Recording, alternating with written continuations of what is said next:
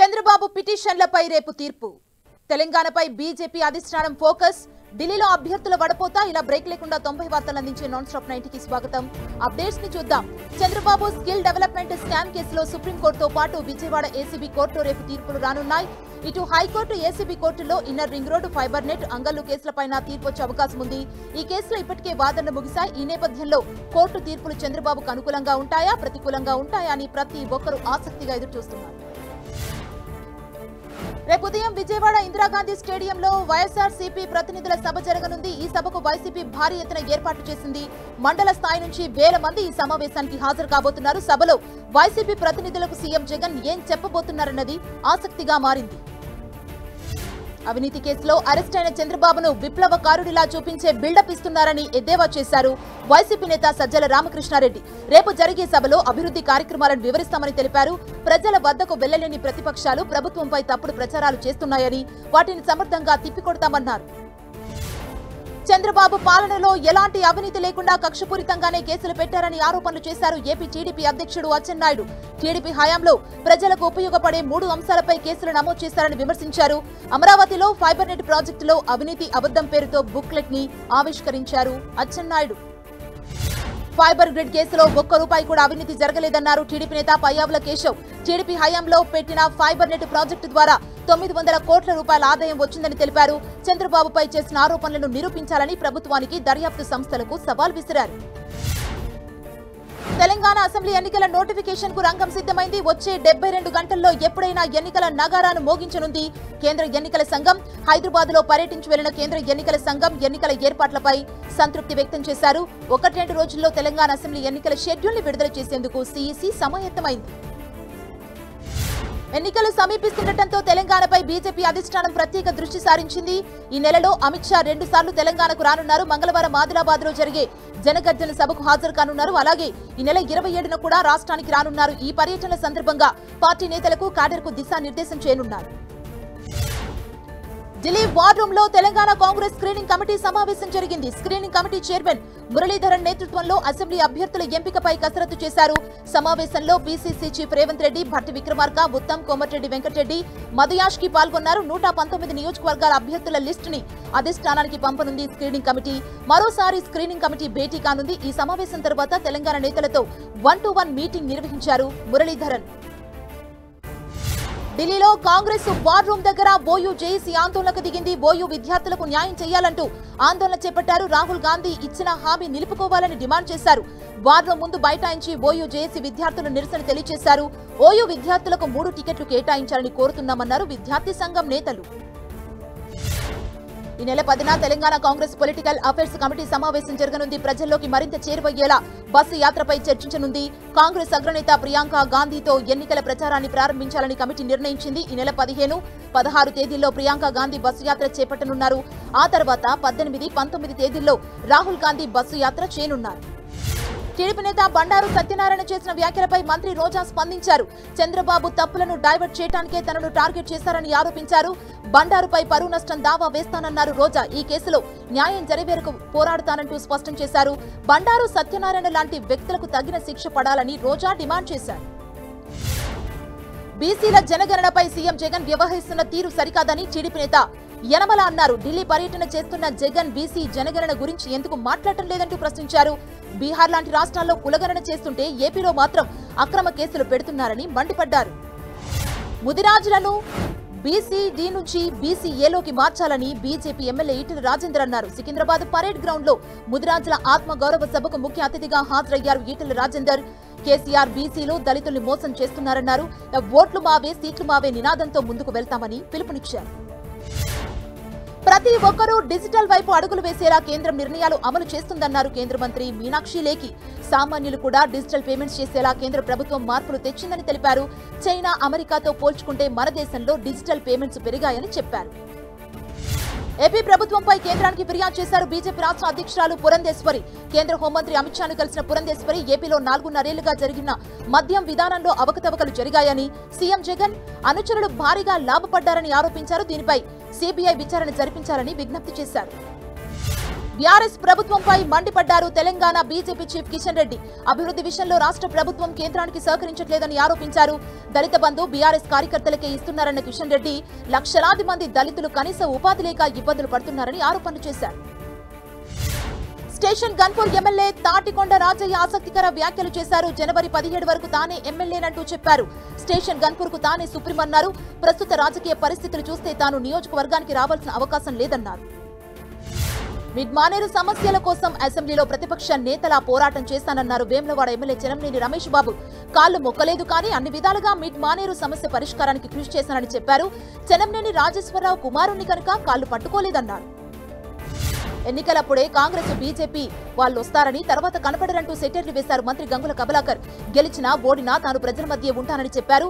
పద్నాలుగు మంది కాంగ్రెస్ టికెట్ల కోసం అప్లై చేసుకున్నారని కేసులు ఉన్నవాళ్ళు జైలుకు వెళ్ళొచ్చిన వాళ్ళు టికెట్ల కోసం ప్రయత్నిస్తున్నారని విమర్శించారు గంగుల. కాంగ్రెస్లో కొన్ని సీట్లను బీఆర్ఎస్ డిసైడ్ చేస్తుందన్నారు బీజేపీ నేత ప్రేమేందర్ రెడ్డి. ముప్పై మంది హస్తం నేతలకు కారు పార్టీనే ఫండింగ్ చేస్తుందంటూ సంచలన ఆరోపణలు చేశారు. కాంగ్రెస్ బీఆర్ఎస్ వేరువేరు కాదని ఇద్దరు ఒకటేనని విమర్శించారు. బీఆర్ఎస్ ఇచ్చే డబ్బులతోనే కాంగ్రెస్ నడుస్తోందన్నారు. అసెంబ్లీ ఎన్నికలు సమీపిస్తున్న వేళ జనగంలో పొలిటికల్ పోస్టర్ వార్ మొదలైంది. ఎమ్మెల్సీ పల్లా రాజేశ్వరరెడ్డికి అనుకూలంగా కొన్ని వ్యతిరేకంగా మరికొన్ని పోస్టర్లు వెలిశాయి. స్థానికుడు ముద్దు బయటోడు వద్దు అంటూ కాంగ్రెస్ తరపున పోస్టర్లు వెలవడం కలకలం రేపింది. స్థానికుడైన కొమ్మూరి ప్రతాప్ రెడ్డి కావాలా? స్థానికేతరుడైన పల్లా రాజేశ్వరరెడ్డి కావాలా అంటూ పోస్టర్లు వెలిశాయి.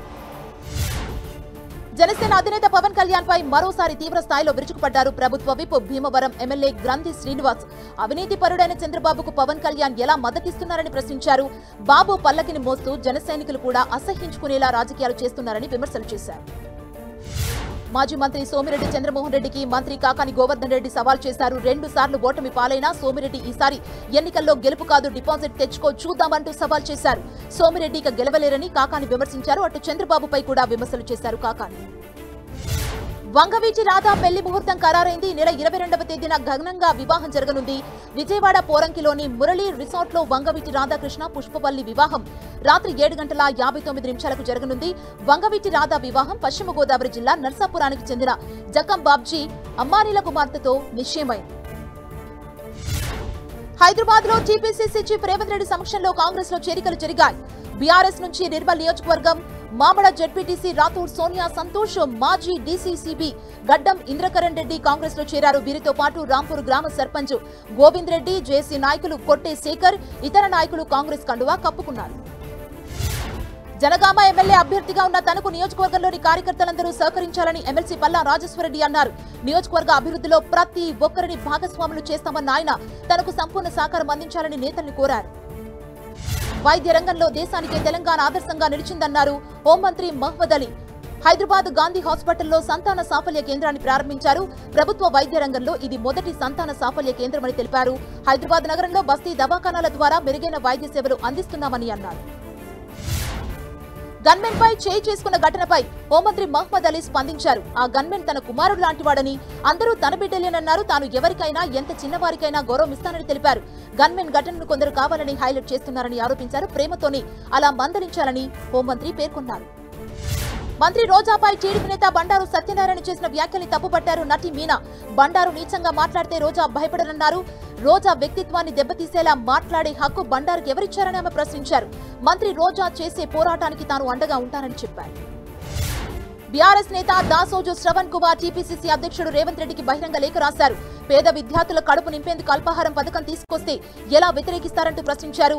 అవినీతి అక్రమాలకు పాల్పడిన రేవంత్ రెడ్డికి పేద విద్యార్థుల ఆకలి కేకలు ఎలా తెలుస్తాయంటూ లేఖలో ఆరోపించారు.